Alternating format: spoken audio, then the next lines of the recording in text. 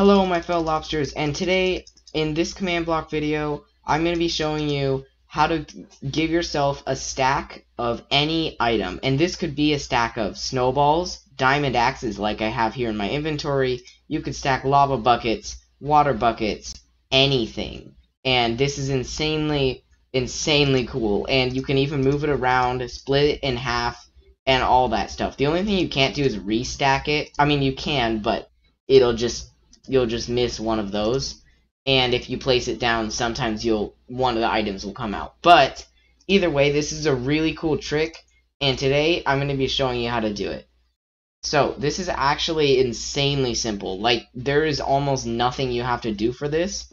All you have to do is run a command similar to this one. So you have to summon an item. By the way, we have videos on summoning items, or summoning anything in general, you can check um, our channel out for that, and also remember to subscribe if you enjoy. Um, but basically what you're going to do is you're going to slash summon item, your coordinates, which is the triple tilde thing. We also have a video on um, positioning items, or positioning spawning and setting blocks and all that kind of stuff. And in the NBT portion of it, note this does not work in Bedrock Edition, unfortunately. I wish it did. But, um, basically all you're going to do is do item, capital, like this, a colon, and then you're going to put these two, um, the curly brackets after, and you're going to do ID, and in quotes, Minecraft, and whatever item you want to it to be after that. So, assume I want to get a stack of, um, wooden swords. Or I want to give myself 16 wooden swords. And you do count, um 16b. So that's for 16 wooden swords. And if I do that, you notice I suddenly have 16 wooden swords. Um, let's say, however, I want 48. I'm going to change that to 48, and now I have a stack of 48 wooden swords. But, and you you can do a maximum of 127, which will give you 63 and 64. But the second you do 128, it doesn't do anything. It just summons air. Unfortunately, you can't do a stack of 128 to my knowledge, but you can give yourself stacks of 16 and 48.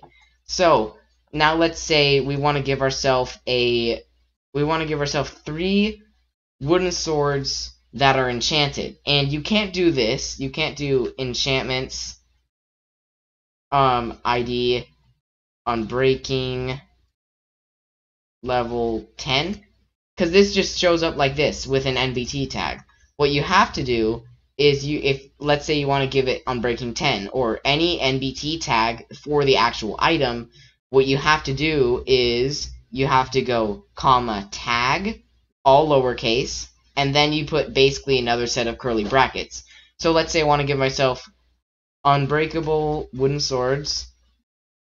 Unbreakable 1 is how you give yourself unbreakable wooden swords and I want to give them um, I want to give myself wooden swords that also have fire aspect. So we're going to do fire aspect level 10. And now you notice we have an unbreakable, we have three unbreakable fire aspect 10 swords in our hotbar. And now, so there's a couple more things I want to note about this, is you can't actually technically do this, and you'll get more wooden swords out of it. Um, which is sort of the thing that you could do, but I recommend using this instead of, um, I mean, unless you're trying to make, like, something like a cursed image or something like that.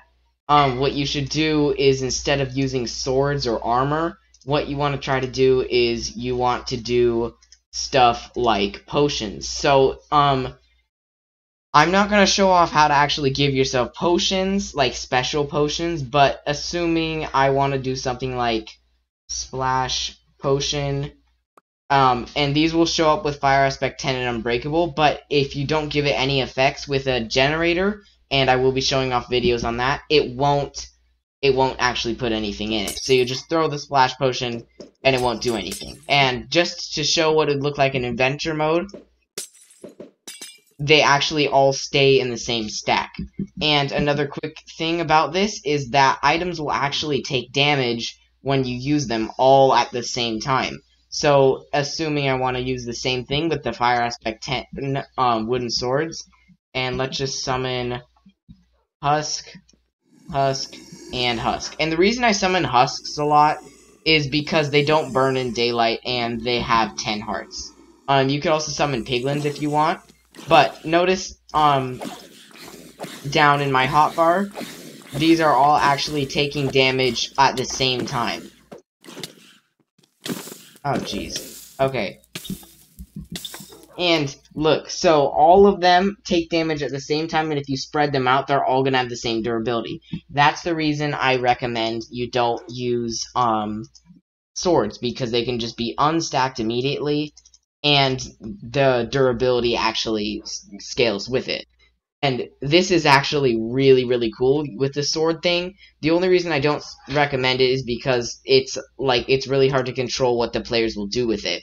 Um, and you can actually stack any item in the game with this. I'm sure I've said that already, but like you, if you want, you you can stack fishing rods, you can stack shears, flint and steel, netherite shovels, wooden hoes. I don't know. You can stack anything. So if I were to do so assume I want, uh, how about a stack of pearls, right? Um, and I'll just do ender pearl. And now you've got a stack of pearls. And if, assume you want a stack of snowballs, like how in Hypixel Skywars, um, there are stacks of snowballs in the mid chests. Now, you can do that in vanilla Minecraft.